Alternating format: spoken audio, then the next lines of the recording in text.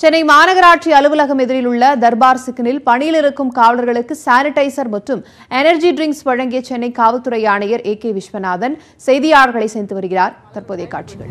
But அதை வந்து நிறைய பேர் மிஸ்யூஸ் பண்றாங்க. நிறைய பேர் இன்னும் தெருக்கள்லயும் டூ வீலர் சுத்திட்டே இருக்காங்க.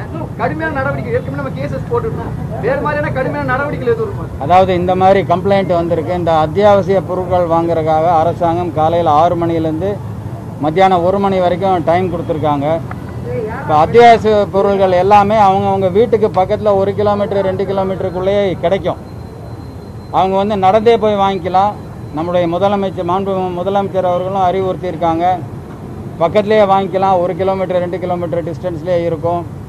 ரெண்டாவது இப்போ வாங்குறதும் வந்து ஒரு வாரத்துக்கு அப்படி மொ மொத்தமாக வாங்கிக்கலாம். தினம் போய் வாங்க வேண்டியதில்லை. ஆனாலும் டூ வீலரில் இந்த காய்கறி வாங்க போகிறேன் மளிகை பொருள் வாங்க போகிறேன்னு சொல்லிட்டு பல கிலோமீட்டர் தள்ளி கூட போயிட்டு இருக்கிற மாதிரி புகார் வந்திருக்கு. அவங்க மேலே கடுமையாக நடவடிக்கை எடுப்போம்.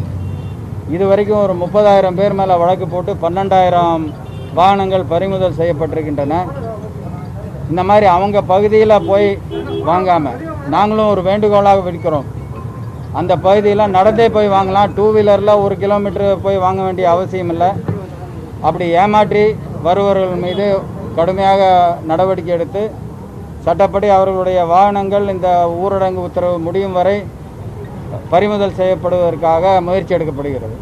பல இடங்கள்ல வாகன எண்கள் குறிப்பிடப்படுகிறது நோட் பண்றாங்க காவல்துறை. அந்த வாகனங்கள் மீது நடவடிக்கை எடுக்கப்படுமா அல்லது எதற்காக அவைகள் வந்து இல்லை அவங்க மீறி நிறுத்தி போகாமல் இருந்திருந்தால் அதை நோட் பண்ணியிருப்பாங்க நம்ம அதை வழக்கமாக செய்கிறது தான் காவல்துறை தான் இப்ப களத்துல நேரடியா இறங்கி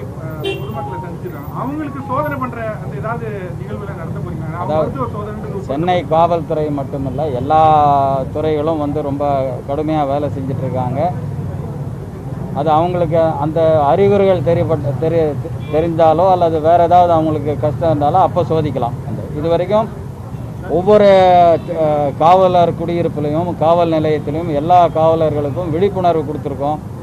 ஹேண்ட் சானிடைசர் முதற்கொண்டு தடுப்பு சாதனங்கள் கொடுத்துருக்கோம். அவங்களுக்கு தொடர்ந்து சொல்லிகிட்டு இருக்கோம் பா எல்லா பாதுகாப்பு நடவடிக்கையும் நீங்கள் எடுக்கணும். நம்ம இதில் யாருக்கும் வராமல் நீங்கள் பார்த்துக்கணும் அப்படின்னு தொடர்ந்து விழிப்புணர்வு கொடுத்துட்ருக்கோம். அதே மாதிரி அனைத்து பெட்ரோல் வெஹிக்கிள் அப்புறம் சிறப்பாக வாடகைக்கு எடுக்கப்பட்ட ஆட்டோக்கள் இவங்க எல்லாருமே நகரின் பல பகுதிகளில் சென்று மக்களுக்கும் விழிப்புணர்வு ஏற்படுத்தி கொண்டு இருக்கிறார்கள் ஆகவே அது அந்த தொடர்ந்து அந்த விழிப்புணர்வு மூலமாக தான் நம்ம அதை தடுப்பு நடவடிக்கை எடுக்கணும். சார் ஒவ்வொரு காவல் நிலையத்திலையும் சீனியர் சிட்டிசன் சீனியர் சிட்டிசன் தனியாக இருக்காங்க அவங்க தான் லிஸ்ட் எடுக்கிறது சில பேர் வந்து ரேஷன் பொருட்கள் வாங்குறதுக்கோ இல்லை வணிக பொருட்கள் வாங்குறதுக்கு போக முடியாது அந்த மாதிரி நிறையா அந்த வாலண்டியர்ஸ் வச்சும் பண்ணுறோம் கார்பரேஷன் மூலமாகவும் காவல்துறையும் அது பல நடவடிக்கைகள் எடுத்துகிட்ருக்கு வேறு எங்காவது அவங்களுக்கு கஷ்டம் இருக்குன்னு கவனத்துக்கு கொண்டு வந்தால் உடனடியாக அவங்களுக்கு நடவடிக்கை எடுக்கலாம். அவங்களுக்கு உதவி செய்யறதுக்கு நிறையா பேர் இருக்காங்க. குறிப்பாக கா கார்பரேஷனில் இதுக்குன்னு ஒரு தனி விங்கே இருக்குது முதலமைச்சரும் சொல்லியிருக்காங்க.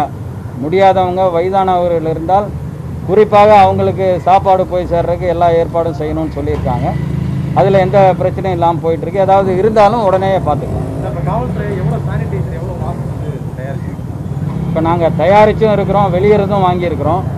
சானிடைசர் பொறுத்த வரைக்கும் இதுவும் மாஸ்க்கை பொறுத்த வரைக்கும் எந்த தட்டுப்பாடும் இல்லை. எல்லாருக்கும் மாஸ்க் கொடுத்து அவங்க பயன்படுத்திட்டு தான் இருக்காங்க. இந்த கொரோனா நோய் பாதித்த பகுதி பகுதிகளில் வந்து மக்கள் வந்து இன்னும் கூட்டிட்டு தான் இருக்காங்க. அதை தடுக்கிறதுக்கு நடவடிக்கை. அதாவது நம்ம வந்து நடவடிக்கையிலேயே எல்லாத்தையும் செஞ்சிட முடியாது. மக்களுடைய விழிப்புணர்வு இதை வந்து இதனுடைய வீரியத்தை புரிந்து கொள்ளாமல் இதனோட சீரியஸ்னஸை புரிஞ்சுக்காம மக்கள் இருக்கக்கூடாது. இத்தனை விழிப்புணர்வு தொடர்ந்து அரசாங்கத்திலையும் கொடுத்துட்ருக்காங்க. எந்த டிவியில் போட்டாலும் முழு நேரமும் இதை பற்றின செய்தி தான் இருக்குது மக்கள் இதனுடைய வீரியத்தை புரிந்து கொண்டு தங்களும் தங்களுடைய குடும்பத்தையும் காப்பாற்றுறதுக்கு எல்லா நடவடிக்கைகளையும் தடுப்பு நடவடிக்கையும் எடுக்கணும். எந்த விதமான ஆபத்தான நடவடிக்கையிலும் ஈடு ஈடுபடக்கூடாது. வெளியே வந்து நிறைய இடங்கள் கண்டெய்ன்மெண்ட் ஏரியாவும் இப்போ வந்துருச்சு. இந்த ஒரு இடத்துல ஒரு கொஞ்சம் பேர் இதனால் பாதிக்கப்பட்டிருந்தா அந்த ஏரியாவே கண்டெயின் பண்ணியிருக்காங்க. அங்கேயும் ஒரு சிறப்பான அந்த இது தடுப்பெல்லாம் போட்டிருக்கு ஸ்பெஷலாக அதுக்கு.